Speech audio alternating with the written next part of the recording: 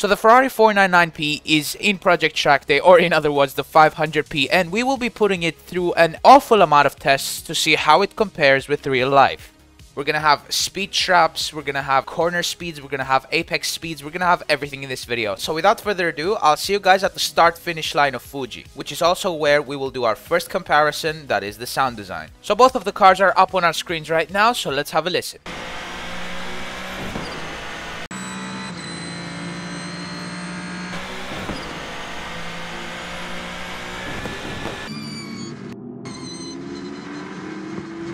Okay, it looks promising so far.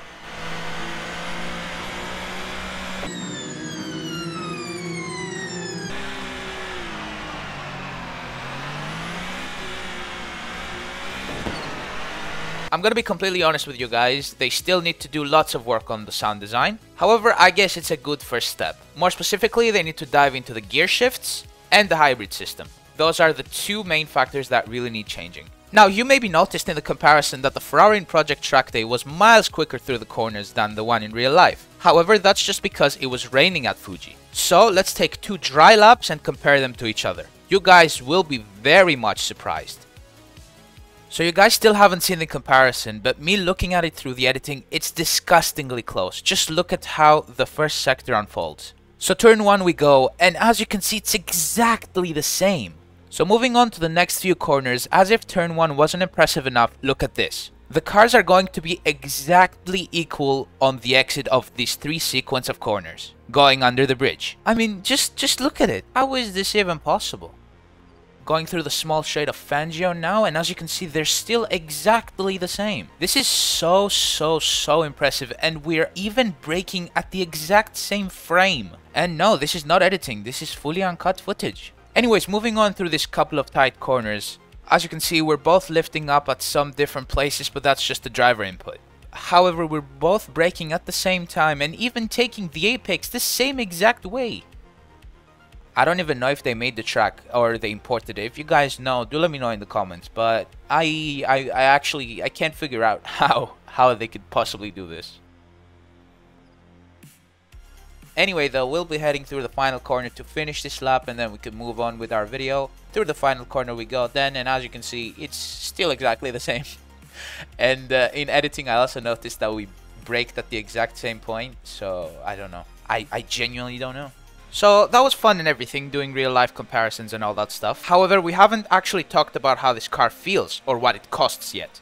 The answer to the cost question you will know after this lap. However, the answer of how it feels you will know in this lap. So I'll catch you guys when I start the lap. So it's pedal to the metal through the final corner as we're heading straight towards that start finish line of Le Castellet and we will be heading down into turn 1 very shortly. Now this car has really great acceleration and reaches the top speed very very quickly. I'm not sure if that's realistic enough or not but we're going to be braking right before that 100 meter signboard into turn 1. Make sure we don't miss that braking point as we can run wide and get ourselves a penalty. Onto those exit curbs then we go. Thankfully that wasn't a penalty. In La Castellet it's so so easy to get a penalty for yourself However, we still haven't done that. Well, yet. And I say that with extreme caution. As we move on though, I think you guys can see how stable this car is. It's one of the most stables. Probably it is the most stable that Project Track Day has ever released. You don't have to save it on exits of the corners, and I think that's quite realistic actually. The LMH cars have some great, great downforce, and I cannot wait to actually show you this through this high-speed corner. I'm gonna try and take it flat out. Let's see if that works. If it doesn't, then that's still okay. We can have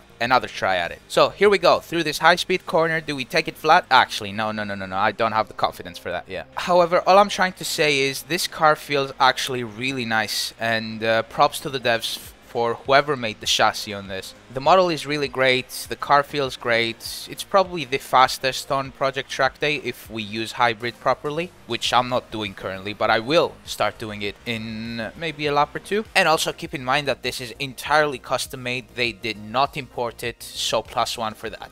So we're gonna have it one more time as it's currently nighttime, so that's really nice to see, I suppose. We're going to be heading for that 100 meter signboard, and uh, we actually perfect turn one. That's absolutely amazing. Do we get a penalty? Ah, uh, we get a penalty.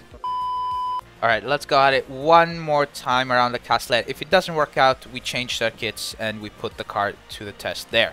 Uh, do we reach the speed? Yes, we do. Way, way before turn one, I should add.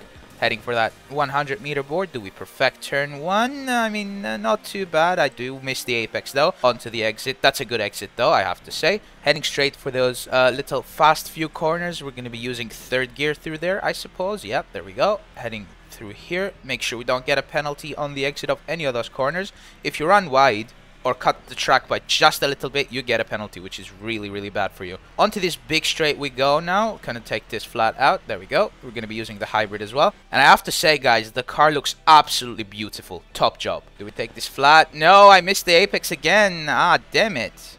So, Monza in a Ferrari. Doesn't get any better than this, does it? As we use all of the hybrid we possibly can before crossing the line, just so we make sure that we reach the top speed of 347 kilometers an hour, braking between 200 and 150 meters, making sure we don't miss our braking point as we're going through turn 1. And if you've played Project Track Day before, you will know that through turn 1 you can easily lose your car. However, with this one, you just press on the throttle and you have nothing to worry about as the downforce really helps you get through that one. Through into the next chicane we go between 200 and 150 50 meters as well. Maybe, yeah, a bit too wide there, but that's fine. We save it. See, much, much easier to save the car through there as we're heading towards the Lesmos now. Downshifting into third, up to fourth mid corner, and then heading to the second Lesmo downshifting to third again. Probably would be best to keep it on fourth there because shifting up to fifth maybe takes a bit too much time. Heading now downhill under the bridge and now up to Ascari. We're going to brake 150 meters down into fourth. Through Ascari we go. Can we do this flat? We can absolutely do this flat. The car just loves being thrown around around here. Now, through here we go. We're going to use the extra bit of hybrid we have. Braking at 150 meters. That was just about perfect. Through Parabolica, use the rest of the hybrid as fast as you possibly can. Don't get a penalty. There we go. I was so worried that we are going to get a penalty through there. But we crossed the line and that is an absolutely amazing uh, lap. Now, let's get a cooldown lap for ourselves and talk about this update. So, the car currently costs 1.4 million for the absolute top level. So if you are a lower level, unfortunately, the car will cost a bit more. But it's much, much better than the overpriced buggy mess we got with the IndyCar update. Hell, the IndyCar update didn't even have a working steering wheel, let alone any hybrid or push to pass.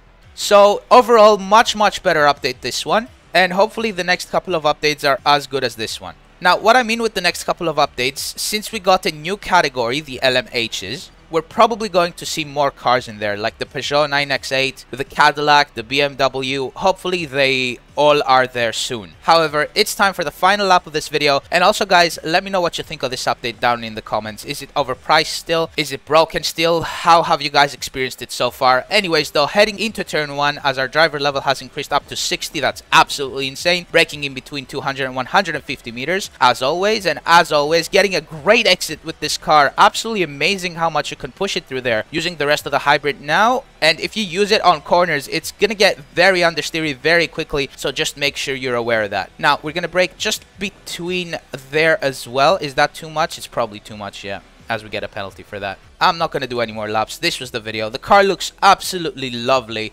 Everything works as intended, which is something we did not see with the previous update. But yeah, top job on the modeling, top job with whoever made the chassis for this one, and uh, hopefully the next couple of updates introduce more LMHs. But that's all from me for this one. Hope you enjoyed, and I'll catch you guys in my very next video. Bye bye.